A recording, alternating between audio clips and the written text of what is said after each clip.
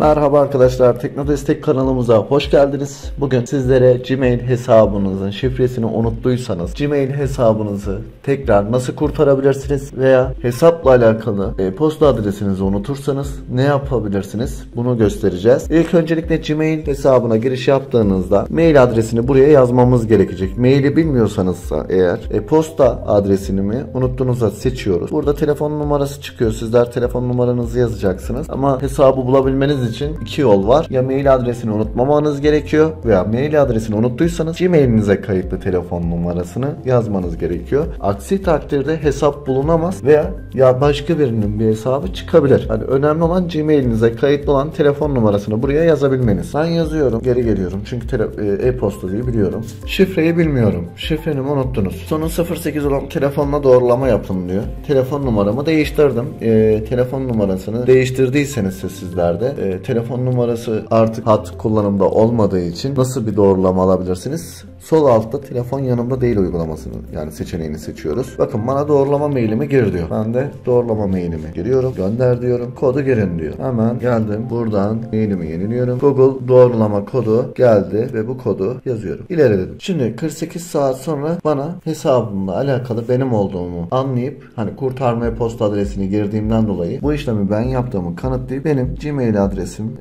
ile alakalı bana bir şifre sıfırlama linki gönderecek ve ben bu şifre sıfırlama linkinden artık hesabımı kurtarabileceğim ve hesabıma girebileceğim. Mail adresini kontrol etmeniz gerekiyor aralıklarla. E, Çünkü başka mailler geldiği zaman arada atlanabiliyor. Hani bu maili kaybedebilirsiniz. Gelen kutunuzu aralıklarla kontrol ettiğinizde size Outlook tarafından bir şifre sıfırlama linki gelecek. Eğer böyle bir mail göremezseniz gelen kutunuzda mailinizin spam veya gereksiz kutusuna bakın. Buraya da düşebiliyor bazen çünkü gelen mail. Buradan sıfırlama işlemine basarak yeni şifrelerinizi oluşturarak hesabınıza erişebileceksiniz. Herhangi sorun veya sorunlarda 11858 teknoloji destek hattımızı arayabilir ve kanalımıza abone olarak bizleri takip edebilirsiniz. Videomuzu izlediğiniz için teşekkür eder. İyi günler dileriz.